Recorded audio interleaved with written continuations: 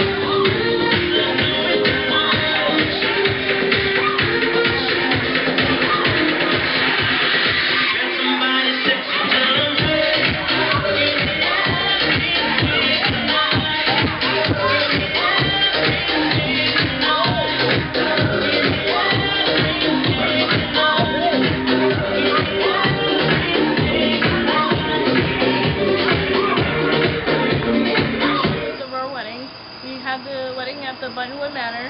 Thank you to Off the Charts. What a great man that he is.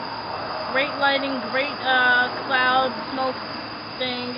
And it was fun, and everybody was energetic, had a great time.